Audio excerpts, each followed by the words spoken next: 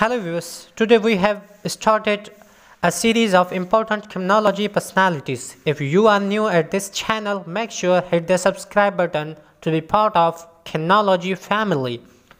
Today first we discuss the important personality is Cesar Beccaria.